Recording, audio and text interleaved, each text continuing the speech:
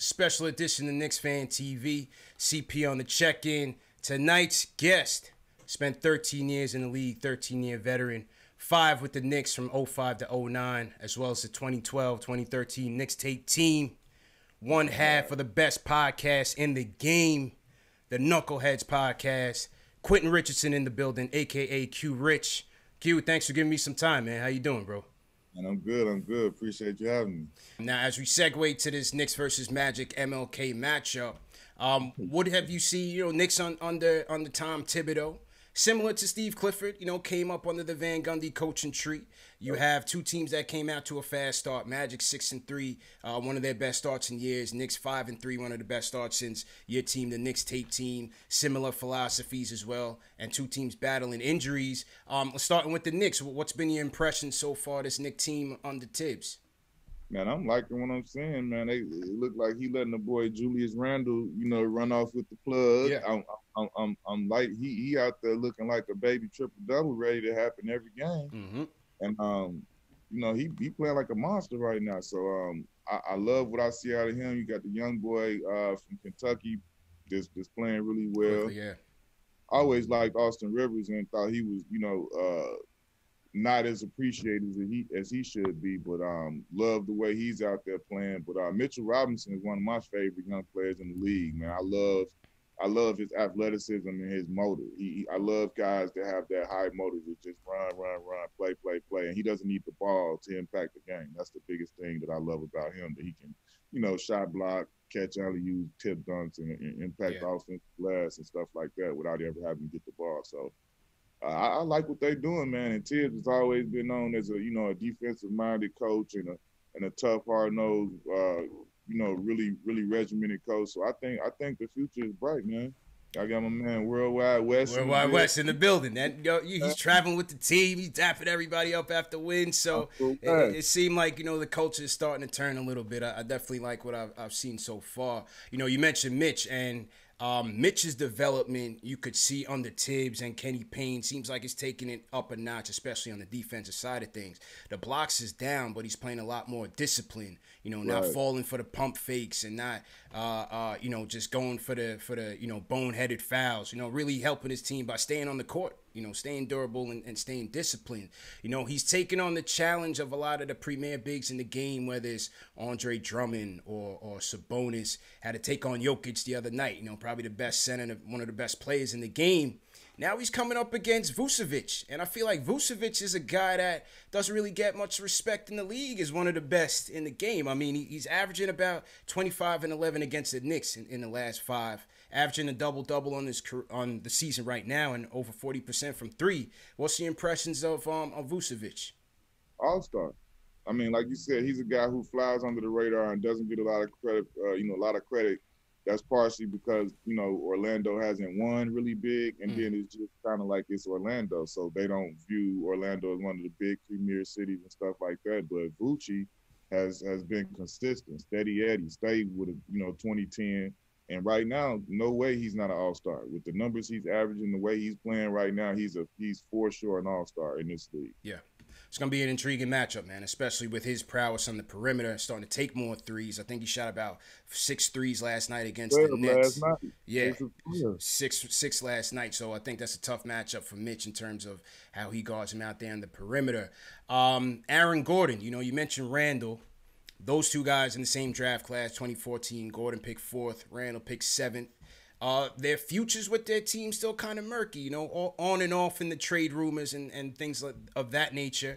But now we're seeing Gordon take more of a um, playmaking role with the Magic, I guess, based on the injuries to Fultz and Carter Williams and so forth. Um, what, how, how have you seen, you know, Gordon's career with the Magic and, and his impact on this team? I think he's been steadily progressing, man. He's trending in the right direction. I mean, especially this year with him making the switch to like kind of the point forward role. Um, he's been in that role about four or five games, and I think every game, you know, he's gotten he's gotten better and better and more comfortable.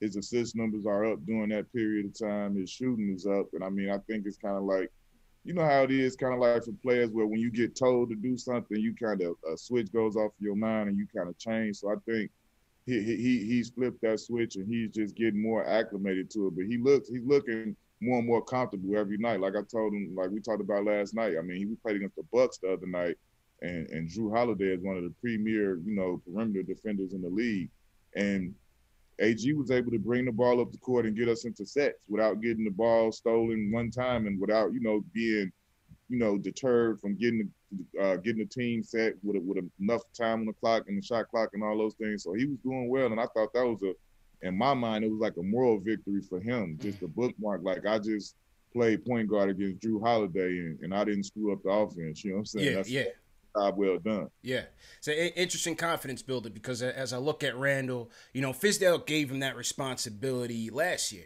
You know, Fizdale really made it a point to have players, you know, stretch above and beyond what their usual role is. And I think Randle embraced it, but he, he I think he struggled a lot last year in, in, that role and really being the number one guy here in New York, dealing with that pressure. So he would turn the ball over a lot and, and you know, dribble into double teams, trying to make a play and just make a lot of mistakes. But under Thibs, you, you're seeing a lot more um, control in, in Randle playing in that point forward spot six dimes a career high at, in, in his um, statistical averages. So certainly, I, I, when I look at Randle, I see him now making winning plays.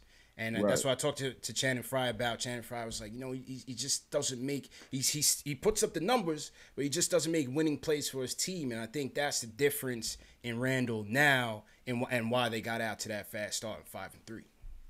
Yeah, man. I mean, it's amazing how you know what I'm saying. Just just another year can get somebody comfortable because you know, like you said, if you're not ready or you don't know what to expect or it just may take a year just to get used to New York and what comes with it, just from all those aspects, from being going, being looked at as the guy, you know what I'm saying? Because Randle, that's what, how he's viewed right now in New York with that team. He's one of the guys. Mm-hmm. So, you know, him and RJ Barrett, they're learning. Like, I feel like Barrett is taking another step from his rookie year after getting to be in that city and know and, and absorb what it's like to be in that Knicks uniform and what is expected of him being the first high pick and all of that stuff. So all of these guys are learning on the fly. And I think it's just, you know, Coach Thibs makes it that much more comfortable when he has when you got somebody steady and somebody who's gonna be on you and you know exactly what you expected of. Absolutely, man. And and uh, going back to that coaching matchup, Clifford and Thibs, you know, cut from the same cloth, same philosophy and everything. Um, but you got to give Clifford credit. You know, this this Magic team has made the playoffs past two years, and and you know he's done a lot. I think with a little in terms of dealing with injuries and also just an overall lack of talent. Um, talk about the job that Clifford has done with this team since since you've been there and, and watching them. Man, listen, coach. So Coach Clifford was my assistant coach when I when I played here for the Magic under Stan Van Gundy. So I've known Coach Cliff since way back then. And um, Coach, I was extremely happy to see him get his uh, you know start out in um, Charlotte head coach. But I, I had no doubt, and I'm, I knew he was going to be a great head coach when he got a shot. And so uh, for him to have you know the success he's had coming here, it hasn't surprised me because he workaholic, you know, extremely, extremely detailed, knows the game, very knowledgeable of the game, a great defensive orientated coach. And um, to me, that's what really drives everything he does, his his defensive schemes and the way that he teaches the team to play defensively because we haven't always been as talented with offensive players. But like you said, he he does a tremendous job at, at uh, at getting guys to do more than they actually are uh, did you than you expected them and um, getting more out of I guess you would say what you would expect is little. So man, Coach Cliff has done an outstanding job here down in Orlando, and like you say, two years in a row in the playoffs and, and trying to do it again.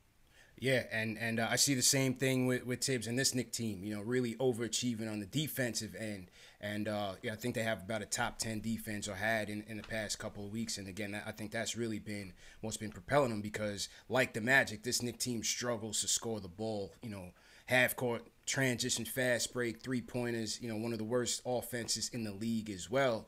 I think what's interesting to to when I do my research on Clifford and and I hear the people and I read the people on the beats kind of um, criticisms of him is um, kind of his stubbornness, you know, to kind of sticking to one thing even if it may not work and, and really going with it for you know in terms of rotations and, and lineups. And as we watch this Knick team in this early stretch, you know, the Knicks fan is very impatient. We're seeing a lineup that's continuing to struggle with Elfrid Payton as the starting point guard and you know more and more the fans are calling for uh, Quickley to start. So it's it's it's just interesting to see you know the whole play development philosophy in terms of how these guys approach playing the young guys, whether starting them or bringing them along slow. With Clifford, you see Cole Anthony seemed like they were kind of along that track, you know, bring them along slowly, but the injuries kind of pushed them into that starting lineup. So, what do you think about those criticisms and, and how you know Clifford kind of approaches that that play development track? For me, I think you know you you have to understand what fans fans are fans.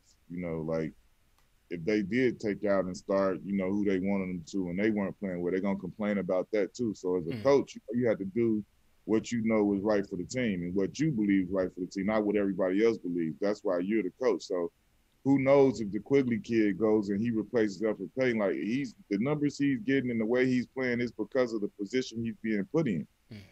And that could change if he was put in a different position. You understand? Like yeah. it could go either way. Maybe it could go better, maybe it could go worse, but you don't mess with success all the time. And especially like you said, they're trying to bring a young kid along slowly, let them continue to grow as far as what Coach Cliff does down here, man, I, I think he he was absolutely in the place where Markelle was the guy, and everybody knew that, and he was doing a great job uh, early in the season. Then he had the unfortunate injury, so obviously in a situation next man up, uh, Cole Anthony has been thrust into a starting position, and uh, I'm sure he's ecstatic about it, and he's up for the challenge. And mm-hmm. this is something that that he's, um, you know, obviously not loving the fact that it took Markelle to get hurt for it to happen, but anybody would, would, would relish and want this chance to, to start as a rookie and kick their career off this soon.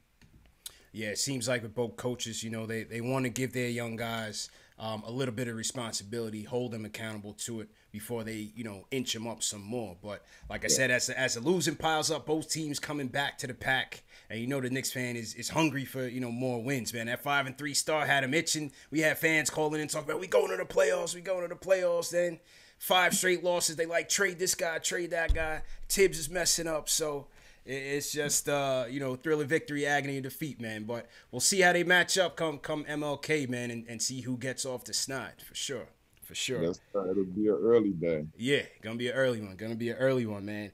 Q, I, I definitely appreciate all the time you, you gave and, and, and the gems that you dropped, man. And looking forward to the next episode of Knuckleheads. And um, what, what's your what's your final you know message to the to the Knicks fans out there? Man, I know it's hard, man. Be patient. Somebody coming. Somebody gonna choose. hey, listen, because I'm telling you, whoever it is, whoever it is, like I'm telling you, when they get it, it's over. It's that's over. It. All it takes is it's some young boy out there growing up right now that that's all they want to do is put the Knicks on, and, and y'all gonna get y'all one. Oh, hopefully, like you said, they'll they'll be king, man. But but Q, thanks again. Good luck in the MLK matchup, Knicks versus Magic, and uh, hopefully we can do this again soon, man. All right, man. Holla. Yes, sir. Thanks again, bro.